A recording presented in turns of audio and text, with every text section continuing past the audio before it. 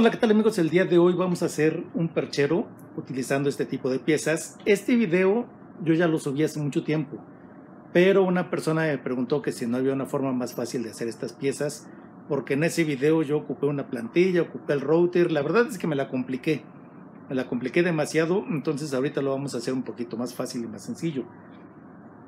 Y bueno, digamos que esta es la pieza principal de ese tipo de percheros, entonces ahorita vamos a dar las medidas. Vamos a necesitar una pieza que mida 7 centímetros por 7 centímetros.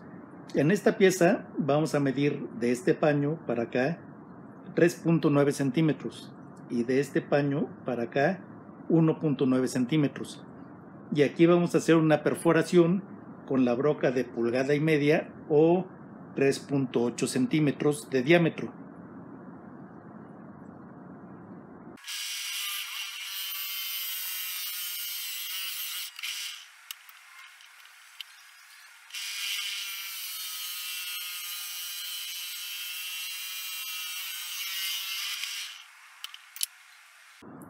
Así como tenemos ya la pieza, vamos a marcar en la parte de arriba de este paño para acá 2 centímetros.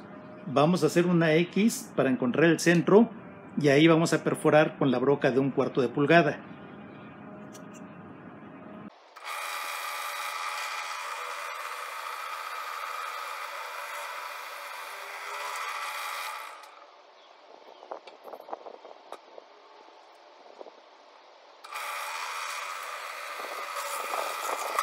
Esta pieza la tenemos que perforar de lado a lado, ya que aquí vamos a introducir estos palitos de madera que tienen un diámetro de un cuarto de pulgada y un alto total de 9.3 centímetros.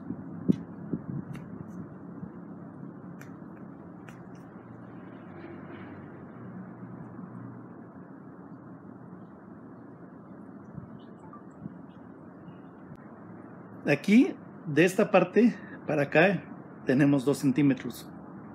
Y de esta parte para acá tenemos 1.9 centímetros. Vamos a marcar una curva. Esta no tiene una medida exacta, es como a ti te guste que quede. Marcamos la curva y ahorita con la sierra vamos a cortar aquí, vamos a cortar acá y vamos a cortar un poquito la curva y lo voy a terminar de redondear con la lijadora.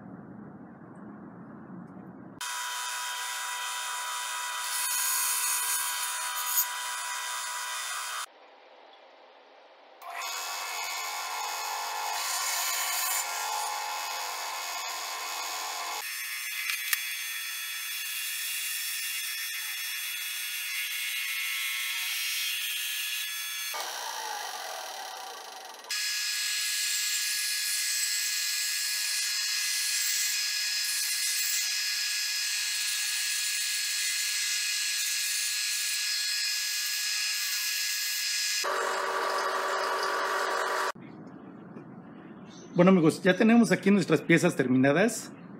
De estas vamos a necesitar 6.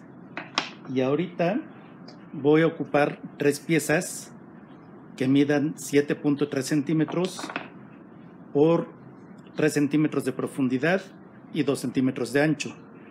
En esta parte le voy a hacer una ranura con la broca de ojo de cerradura para poder colgar el perchero.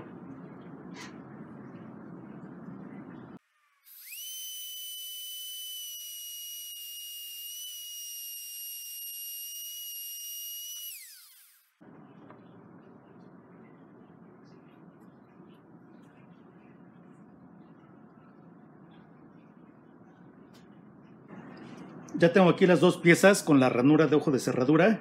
Estas van a los costados y esta va a ir en medio, por eso no necesita ranura. Para los que no conozcan la broca ojo de cerradura, es esta. Hay diferentes alturas y diferentes anchos. Es parecida a la broca T, pero no es una broca T. O sea, son muy similares. También vamos a necesitar dos palos que midan 2 centímetros de alto por 2,5 centímetros de ancho y 60 centímetros de largo. En estos palos lo que vamos a hacer es que De este paño para acá vamos a perforar los 4 centímetros. Luego 8.5 centímetros y 8.5 centímetros.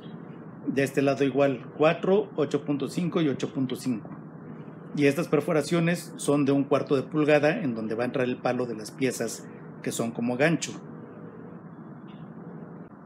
Las piezas que tienen el ojo de cerradura, una va aquí, la otra va acá y la que no tiene va en medio. Estas piezas las vamos a colocar de esta manera. Así. Que quede volando esta parte, porque eso es lo que se va a recargar en la pared, para que puedan abrir nuestros ganchos sin que peguen en la pared.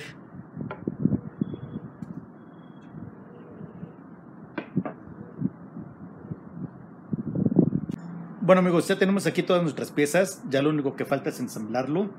Entonces vamos a meter estas piezas aquí en las perforaciones que hicimos.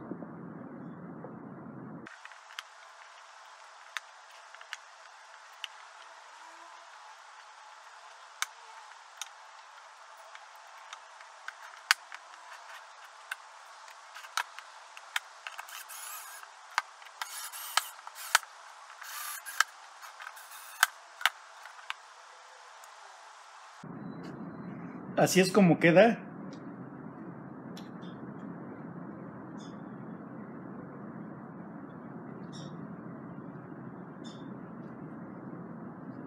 Ahorita lo que vamos a hacer es ponerlo en la pared para ver cómo se ve.